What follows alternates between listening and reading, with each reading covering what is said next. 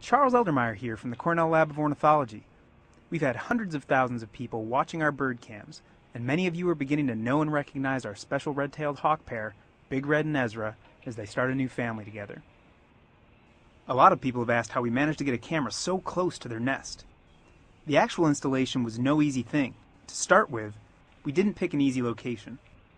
The nest is 70 feet up a light tower high above Cornell's campus with no nearby plugs or internet. In order to bring you the live feed, we had to beam Wi Fi hundreds of meters to the roof of Bradfield Hall's specially installed antennas. Making the Hawk Cam a reality wouldn't have been possible without the hard work and ingenuity of a talented team of scientists, electricians, and computer specialists. This is like extreme installation.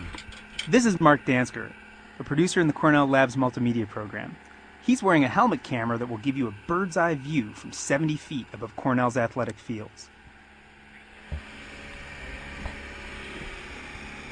So no surprises so far in the install?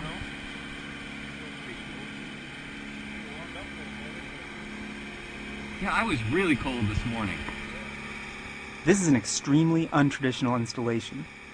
Mark and the crew will be dealing with unpredictable weather, high winds, and numbing temperatures. They'll also need to be mindful of the hawks. Cornell ornithologists are ready with the radio to pull the installation team if the birds show signs of disturbance, like circling or dive bombing. Okay, so we want to be at that pole. We're going to do the installation all on that side. So they got some fresh, you can tell they're using it. They got some nice fresh nesting material. Okay, so the one spot for this camera, the thing is it's a wall mounted camera. This is the wall mounted one. So here's what we're thinking. That's pretty much out of his way, right? I'd say so.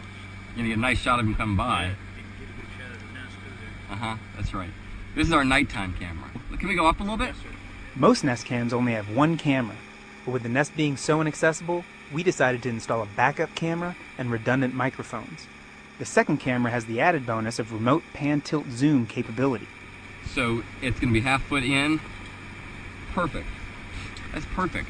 Perfect, perfect, perfect. Okay, so then. Despite Mark's assertions to just how perfect this was going to be, it turns out the overall installation took nearly three days.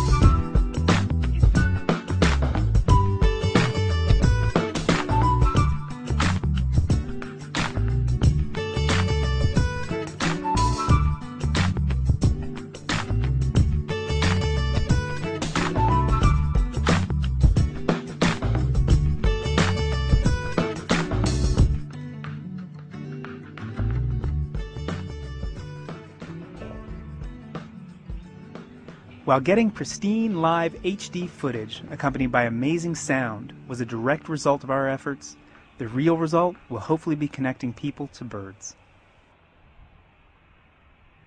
As you can see, it takes a whole lot to set up these cams, and that's just the beginning.